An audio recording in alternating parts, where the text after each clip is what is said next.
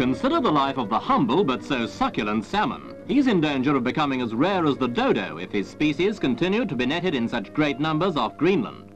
So the Devon River Authority has taken some 20,000 smolts or year-old salmon and knocked them out with anaesthetic so that they can be tagged to study their movements.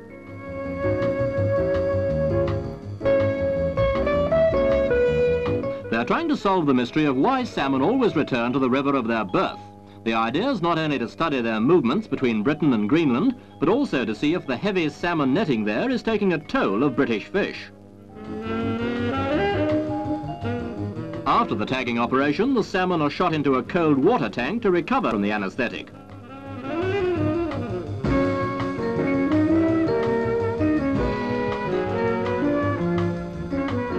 Then they're taken by the bucketful and put into local rivers. So should you ever come across a salmon wearing a tag, whatever you do with the fish, make sure you keep the tag. There's a 10 shillings reward for each one returned to the Ministry of Agriculture or the Devon River Authority. Good hunting.